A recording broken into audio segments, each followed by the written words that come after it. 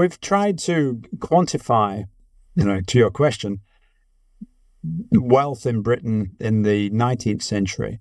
um, and using work of another scholar who looked at dead rich people,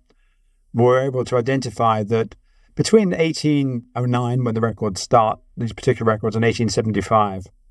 between 15 and 20 percent of the richest dead people in uh, in Victorian Britain uh, were either slave owners themselves, had been slave owners, were the children of slave owners, had uh, or had made their money in trades that were clearly aligned with slavery, including towards the end of the period, obviously cotton, uh, as as cotton manufacturing becomes a, a, very big business for the UK,